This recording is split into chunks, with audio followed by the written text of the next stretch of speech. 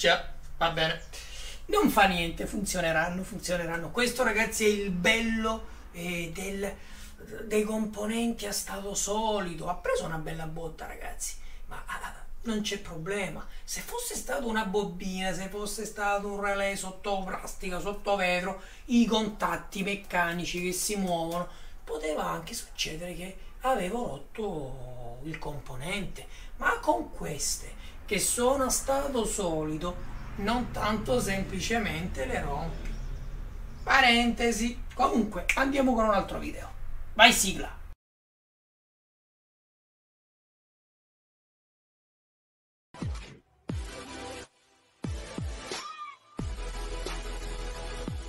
Ciao ragazzi, benvenuti a tutti in un nuovo video. Io sono Fox ragazzi e oggi un altro video molto interessante. Impianto fotovoltaico professionale super mega economico. Sì ragazzi, perché i componenti di un impianto che si rispetti eh, devono essere scelti con i eh, con tutte le dovute attenzioni. Ma quanto può essere davvero economico un impianto solare fotovoltaico? Ragazzi, il costo, l'investimento di un impianto dipende da ciò che ognuno vuole. Se tu dici, eh, ragazzi, io ho un appartamento piccolino, faccio poco consumo mensile, eh, non ho un grandissimo budget, meno spendo meglio è, e allora è normale che si deve andare a scegliere prodotti più economici. Qui vedi dei prodotti, dei componenti eh, di un impianto fotovoltaico che si rispetti. Bene. Questi sono 1 e 2 inverter da 5000 S. Questo è un inverter da 5000 e 500 watt. Ragazzi, cosa ti rimbalza nell'orecchio? Cosa ti rimbalza? 5006, 5005. Tu mi dirai Fox, ma 5000? Ma che cosa sono questi 5000? Ragazzi, questa è la potenza massima che l'inverter può accettare dai pannelli, dalla stringa di pannelli e in più che potrebbe dare in uscita dalla AC, dalla corrente alternata. Cioè il tuo contatore è un 3 kW, questo è un 5 kW, questo è un 5 kW e 6. Questi inverter presi da soli superano di gran lunga le prestazioni del tuo contatore. Perciò se tu hai problemi ad accendere il fono e il, e il forno in contemporanea, tranquillo, con questi non avrai più problemi.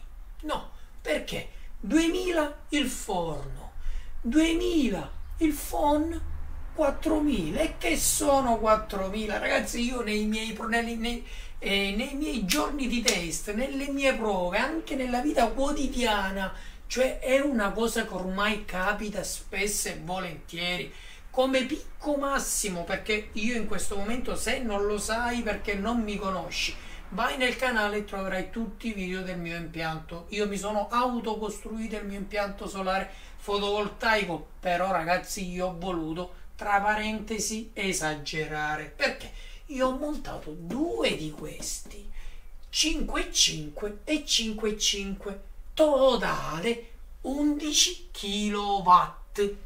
Attenzione. Dopo che è successa la sciagura, che se non lo sai vai sempre nel canale, troverai i video dedicati alla sciagura. Per il momento questo è qui, l'altro invece mi sta dando l'energia per registrare questo video. Io con 11 kW ragazzi potevo permettermi di accendere qualsiasi cosa insieme a qualsiasi cosa. Eh, forno, phon, eh, piastra dei capelli, o capitava anche eh, le, che ti posso dire la stufa elettrica? Sempre con un occhio di riguardo, attenzione, ma ragazzi, con 11 kW e una linea in uscita separata per bene come ce l'ho separata io, io mi posso davvero permettere di andare oltre i 7 kW senza nessun problema, ragazzi, senza nessun e con questi che sono i fratelli minori di questi. Questi che già hanno qualcosa in più, sia in ingresso dai pannelli che in uscita dall'inverter. Posso sicuramente arrivare anche a 8 perché questi due andranno connessi al posto di questi ok? Questi due hanno una potenza totale di quanto? 5006 e 5006 quanto fa ragazzi ragazzi youtube se non sapete ha messo una nuova versione del uh, sistema ok nella grafica trovate un cuore grazie. Quel grazie, ok, o super grazie, ti permetterà di sostenere il tuo creator preferito. Perciò, se vuoi, clicca, fammi una piccola donazione, più o meno grande, se ti ho aiutato, se i miei video ti piacciono, e permettimi di andare avanti. Mi raccomando, ci conto tantissimo. In più, martella like, condividi se vuoi il video e se non sei iscritto ragazzi iscrivetevi 11 kW e 2 ragazzi 11 kW e 2 cioè tu mi stai dicendo Fox ma cosa è cambiato? poco sì è cambiato poco ma ho guadagnato in eh, funzionamento funzionalità e sicurezza perché ragazzi? perché questo qui ok mi comunicherà con questi ok a differenza del mio impianto originario che ammontava questa BMS che è una 150 A con porta UART non era possibile comunicare con l'inverter anche perché questo inverter non ha la porta di comunicazione RS485 che questo e questo hanno Perciò ragazzi, come hai capito, più spendi meglio è. Ma perché? Perché scegli prodotti buoni. Questi sono prodotti buoni, valgono con un solo inverter ragazzi 5 kW. Perciò tu mi puoi dire Fox, ma è troppo, che me ne faccio? A me mi basta 3 kW. Esiste da 3 kW?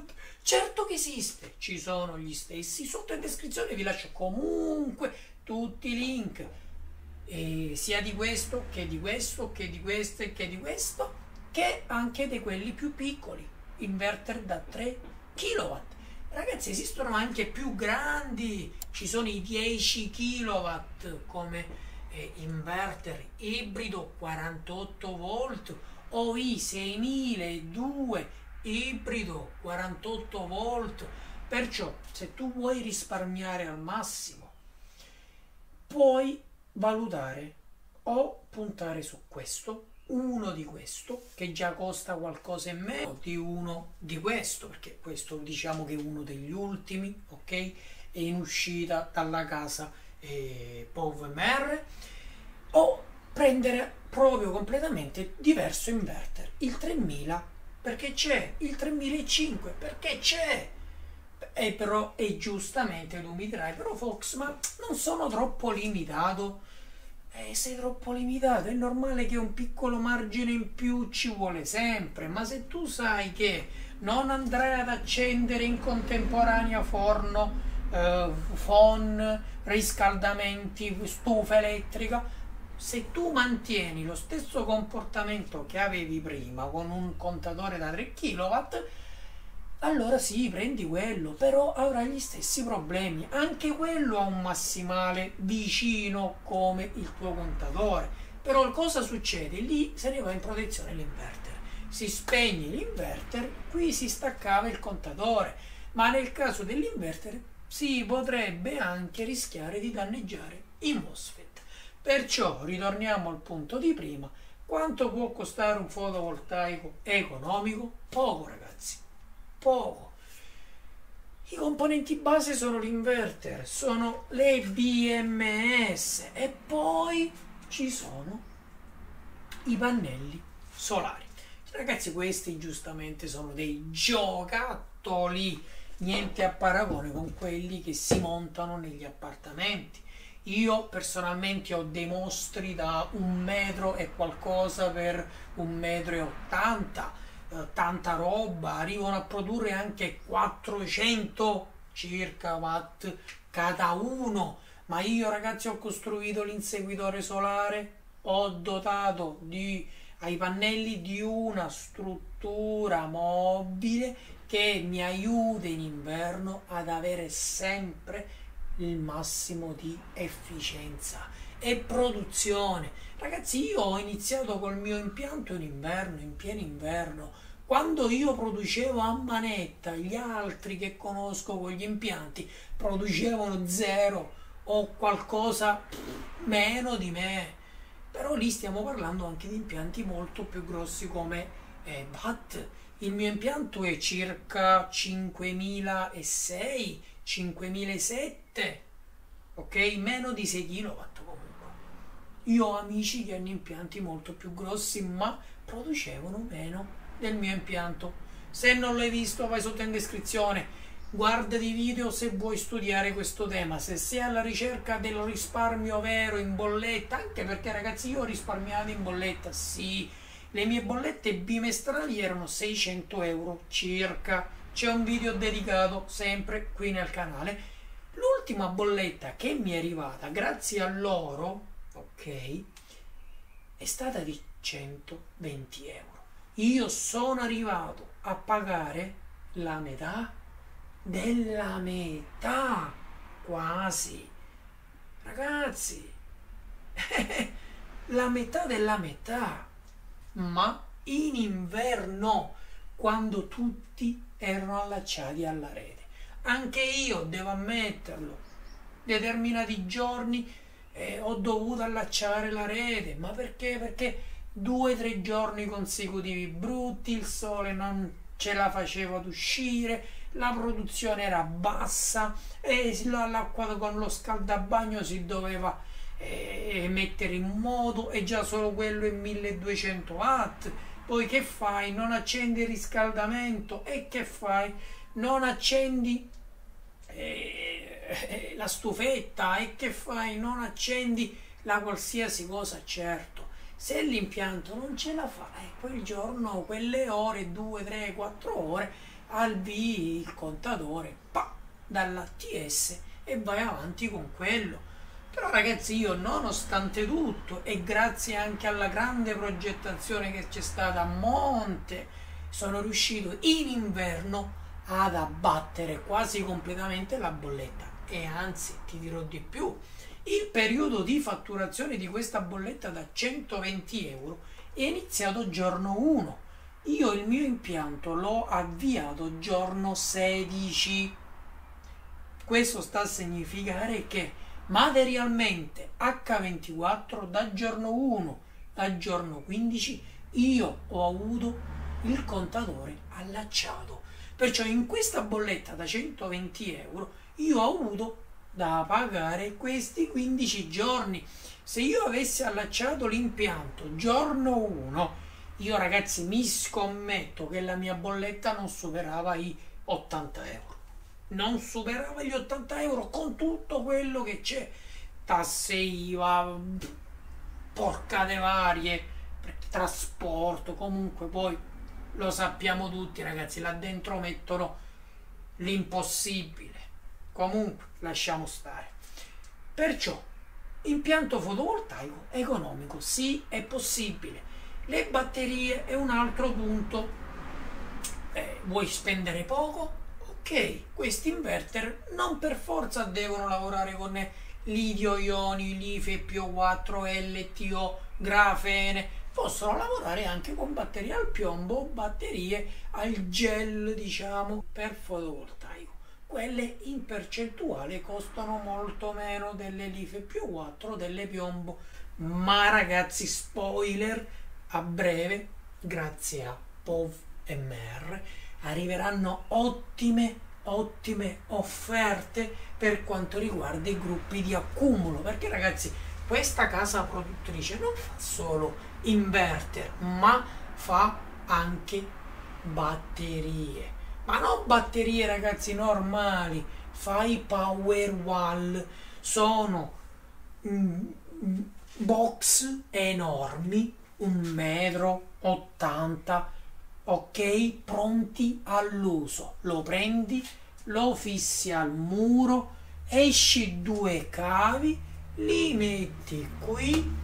Ciao invece io e tanti altri amanti del fai da te abbiamo costruito la batteria da zero e quello è stato un vero casino.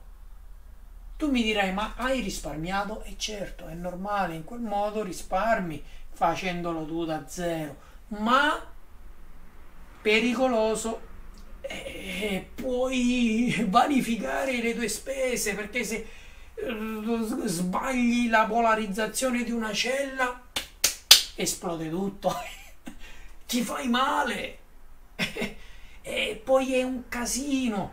I BMS che devi comprare extra tutti i cablaggi del BMS eh, tutta la programmazione, eh, i cavi connettori extra, eh, i fusibili extra, è un casino.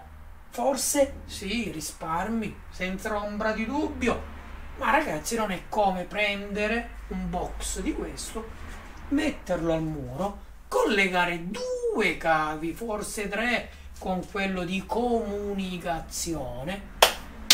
E ciao. Anzi, e vi dirò di più.